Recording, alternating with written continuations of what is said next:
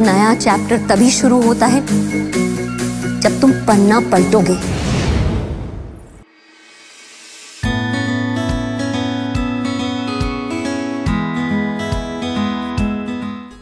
Rajshri Films has long been synonymous with heartwarming films centered around family values, relationships, and the dream of idyllic, lavish living. These films are often accompanied by memorable music portraying the never ending celebrations we all yearn for. दीदी तेरा देवर दीवाना However, in today's reality, most people live in small, hectic nuclear families. भिंडी लीजिए ना हाँ जी thank you पता है तुझे भिंडी बारह रुपए किलो हो गई है Continuing the legacy of traditional storytelling, the young sign of Rajshri Films Avnish S. Barjatia steps into the world of cinema as writer-director with Dono, a Gen Z love story set against the backdrop which reminds you of the iconic Hum Aapke Hai Kaun.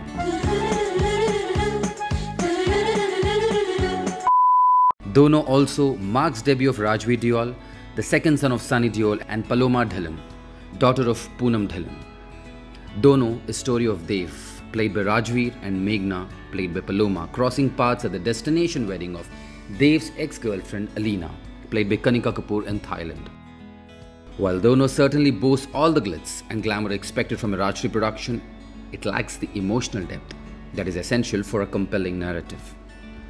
The film suffers due to forced attempt by director to blend the contemporary story within the framework of the traditional Rajshri formulae, resulting in prolonged and exhausting scenes, challenging the newcomers to elevate the film above mediocrity. A missed opportunity in Dono is the absence of an emotional connection with Dev's one-sided longing for Alina. This emotional depth could have made Dev's character more relatable and the audience more invested in his journey. और मुझे देखो मैं उस लड़की की शादी में आया हूँ जिसे मैं 10 साल से चाहता था क्या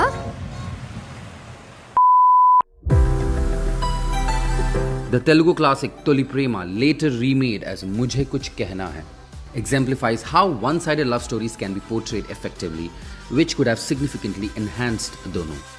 Without the emotional connect, Dono feels monotonous despite its opulent sets, breathtaking locations, exquisite costumes and jewelry, and impressive cinematography by Chirantan Das. The film fails to fully engage the audience. Outstanding music by Shankar Ehsaan Loy gets somewhat lost in the shuffle.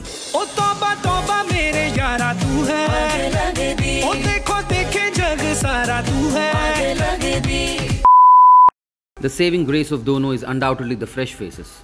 Rajveer Deol, who possesses a remarkable physique and expressive eyes, reminiscent of his father Sunny Paji. Rajveer also displays glimpses of his uncle Bobby Deol's dancing prowess, although he would benefit from further honing his skills in dialogue delivery and acting. Certain scenes, like the one in the restroom just before the interval, showcases Rajveer's potential if provided with a stronger script. तो यहाँ marriage is का इरादा है no. नहीं नहीं वो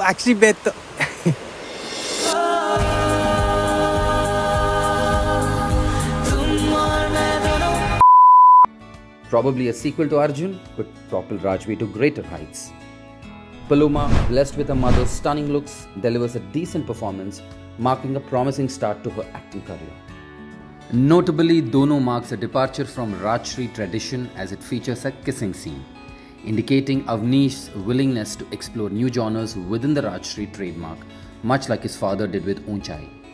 Avnish shows that he is capable of handling huge cast and if supported by good script, he is a talent to watch.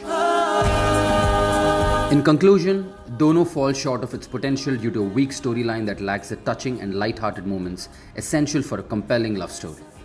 And can be a one-time watch if you're a fan of vibrant settings, enchanting music and okay with the debutants who still have to brush up their acting skills. Hope you liked our no nonsense review. Do let us know your views on our reviews in our comment section below. Please subscribe to Movie Matrix review channel and please don't forget to press bell icon.